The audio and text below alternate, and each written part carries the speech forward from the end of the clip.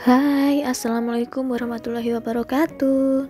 Kali ini aku mau berbagi resep menggoreng cumi renyah dan tidak lengket.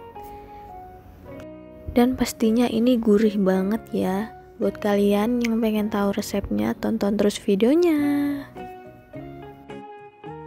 Pertama-tama siapkan cumi. Ini aku cari ukuran yang agak besaran. Lalu kupas kulitnya dan dipotong-potong ring seperti ini ya.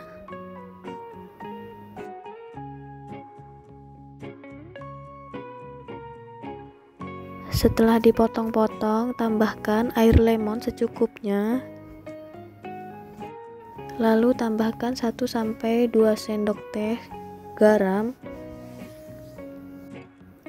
Dan tambahkan setengah sendok teh baking powder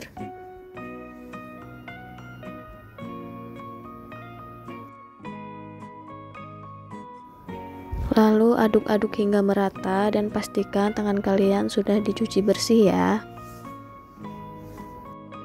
Dan setelah itu diamkan hingga 30 menit. Dan setelah 30 menit ini sudah dicuci bersih, lalu tambahkan tepung serbaguna. Kalian bebas bisa kasih berapa sendok. Ini aku cuma kasih 2 sampai 3 sendok saja lalu tambahkan putih telur.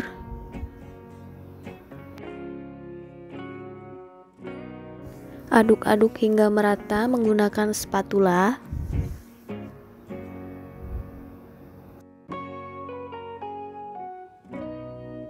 Dan tambahkan setengah sendok teh garam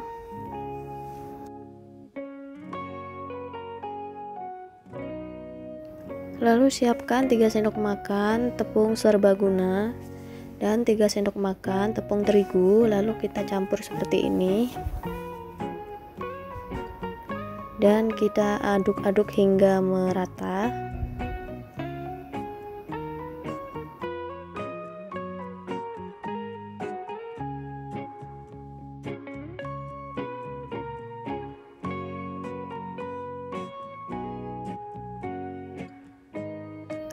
Lalu baluri cumi ke tepung kering yang sudah kita siapkan tadi.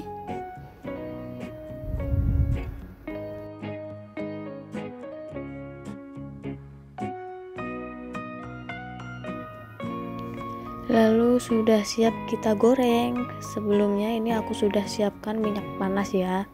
Jadi kalian tinggal nuangin seperti ini.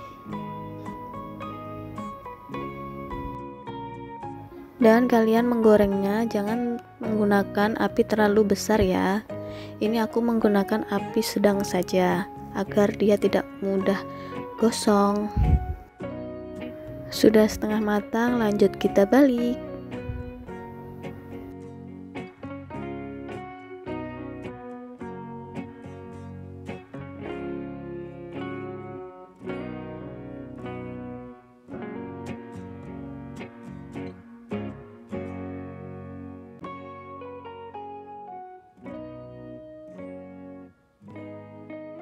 dan sepertinya ini cuminya sudah matang. Lanjut langsung kita angkat ya.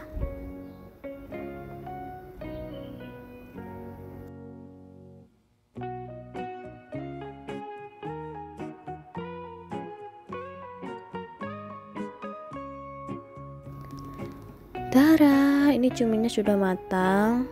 Warnanya benar-benar cantik sekali dan harumnya pun juga sangat gurih.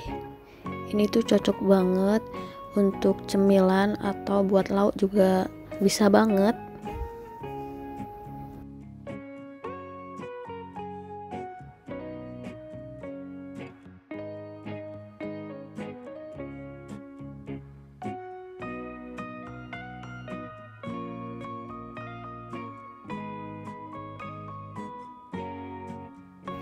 kelihatan ya ini benar-benar kriuk banget.